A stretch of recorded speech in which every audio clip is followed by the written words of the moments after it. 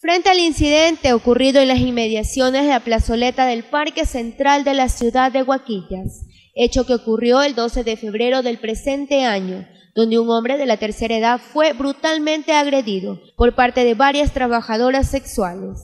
Respecto a este tema, el comisario nacional de policía, doctor Galo Cárdenas, nos da detalles. Ya los familiares se acercaron eh, sobre lo sucedido ellos ya hay la colaboración de la municipalidad con el asesor jurídico, pienso de que ya deben haber presentado esa denuncia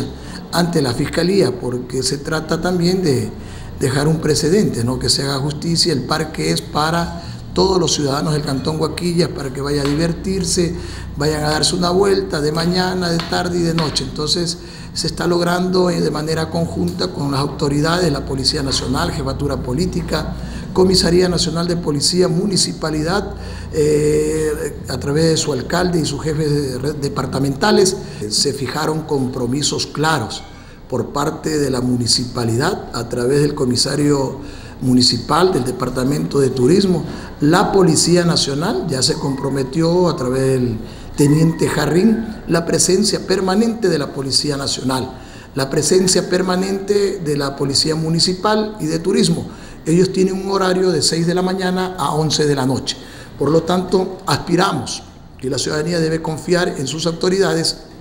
de que estos tipos de incidentes no se vuelvan a, a repetir, de que sí, tenemos que convertirlos en espacios públicos seguros, seguros, de tranquilidad, de paz, de armonía. También nos cuenta acerca de la reunión que se sostuvo en horas de la mañana con la policía comunitaria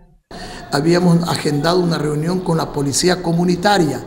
porque la Comisaría Nacional y Jefatura Política venimos desarrollando las capacitaciones de seguridad ciudadana en los barrios, los viernes en familia, las asambleas comunitarias y la reunión de hoy fue para planificar y que estos tipos de, de acciones que venimos realizando en los barrios cada día vayan saliendo de mejor manera, o sea, el trabajo articulado. Para eso fue esta reunión y eh, el fin de todo esto queremos llegar a una capacitación, capacitación en la primera etapa de unos 30 barrios, 30 ciudadelas, a tal punto de poder, de, poder eh, cumplir con el objetivo que nos hemos planteado de ubicar las alarmas comunitarias, alarmas comunitarias en cada uno de los barrios donde hemos llegado a tal punto de que estas alarmas sirvan para prevenir el cometimiento de un delito, disuadir el cometimiento de una acción peligrosa en contra de la ciudadanía.